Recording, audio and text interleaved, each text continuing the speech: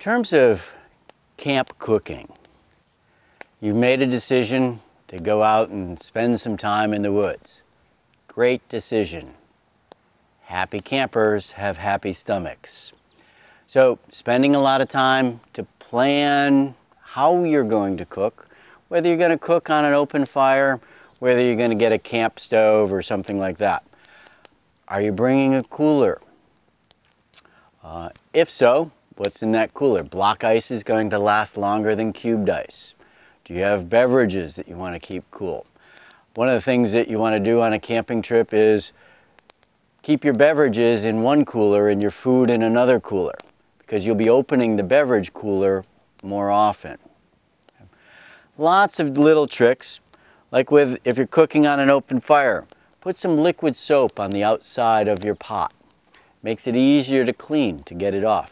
Make sure that you don't get any of that soap inside because we don't want to clean you out.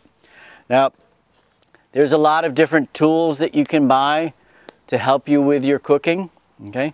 Handy dandy little toaster things. Kids love these. Lots of fun too. Um, cast iron, big pots, long handled spatulas, uh, good cook mitts if you're cooking on an open fire. Uh, so that way you can move around, touch some of these hot, hot objects without burning yourself. Um, so a lot of planning. Now, when it comes to, to cooking on an open fire, flame is the thing that you don't want to cook on. You want to allow time for the fire to burn down and get down to coals. So it's a nice even temperature. The closer to the coals, the more direct over them, the hotter the fire is going to be. So you can control where, you know, how fast something's going to cook. Tin foil is a great campfire tool. I've done whole meals where you can just wrap the whole meal up in tin foil and put it down inside in the bed of coals.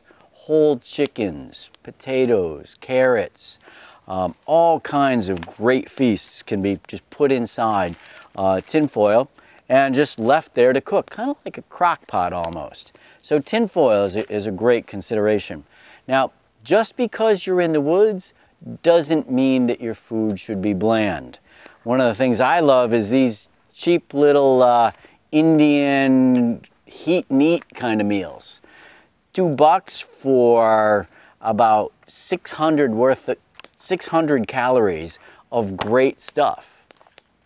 Very easy to eat, it's inexpensive, easy to prepare no big messes. Um, so spend some time in your supermarket looking for things that you like that might be easy to cook. Now again, because you're out in the woods doesn't mean that things need to be bland. Bring a spice kit along with you. Salt, peppers, the, the hot and spicy kinds of things. Spice it up a little bit. And don't forget the magic dust, okay? If it's a seasoning that you like at home, it's going to be even better on an open fire. And of course, don't forget the snack food, okay? Lots of great snacks. Happy times are made around a campfire by happy stomachs. So put some work into shopping and it's fun. It's a great time. Oh, look at that, almost, almost perfect. A lot of times you can you know, feed your troops quickly, efficiently, with just a little bit of work. And you'd be surprised how involved people want to get when they're looking at you know, the preparation of the meal. So, happy trails, safe eating.